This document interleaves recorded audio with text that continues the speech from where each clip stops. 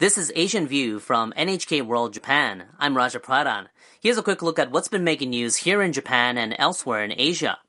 The Japanese government is considering extending its state of emergency for Osaka and two neighboring prefectures beyond May 11th.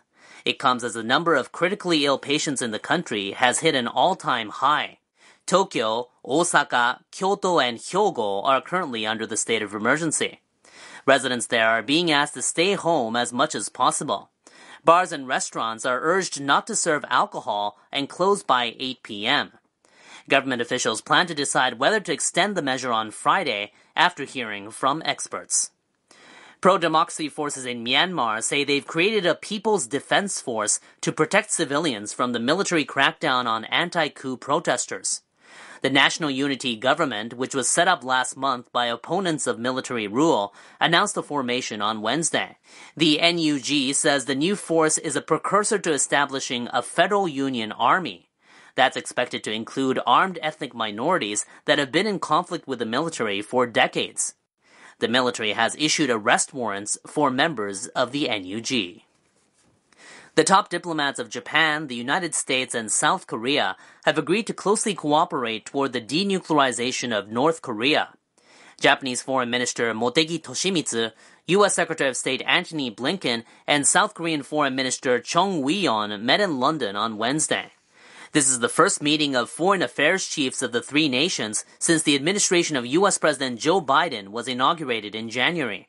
Motegi noted the policy retains the goal of completely denuclearizing the Korean peninsula and pledges to step up work to ensure the security of U.S. allies. This is NHK World Japan. G7 foreign ministers have wrapped up three days of talks in London with a statement that takes a strong line on China.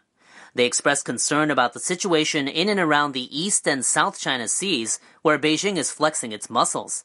And they reiterated their opposition to any action that could undermine the international rules based order. The statement stresses the importance of maintaining peace and stability across the Taiwan Strait and encourages the peaceful resolution of cross strait issues.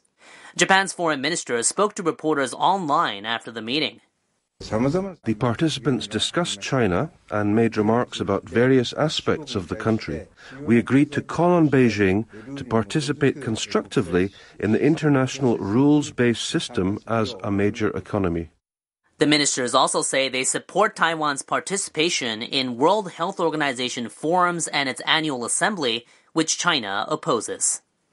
Taiwanese authorities have introduced vaccination leave, giving people who get coronavirus jabs two days off work. The measure took effect on Wednesday. Employees and civil servants can skip work on the day they're inoculated and the following day if they show a vaccination record card. Employers may not refuse the request or treat applicants unfavorably for taking the time off, but they don't have to pay employees for those days. The vaccination program kicked off in Taiwan in late March, starting with medical staff. As of Tuesday, just 0.3% of the population had received their first shot. Authorities are calling on people to sign up for inoculation to speed up the program. More than 200 human rights groups are calling for an arms embargo on Myanmar. It's in response to the military's violent crackdown on protesters following the February coup. Amnesty International, Human Rights Watch, and others issued a joint statement on Wednesday.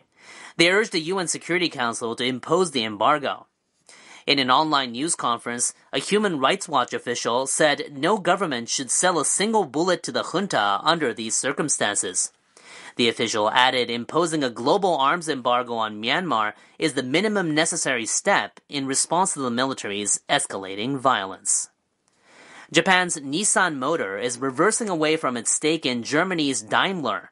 It's selling its roughly 1.5% share for about $1.4 billion. The announcement follows a similar move from Nissan's French partner Renault in March. Nissan is selling to institutional investors. It says it'll use the funds to become more competitive by electrifying new vehicles. The auto giant has been reeling from weak sales and the repercussions of the coronavirus pandemic. Nissan says its industrial partnership with Daimler will not be affected by the sale. This is Asian View from NHK World Japan. I'm Raja Pradhan.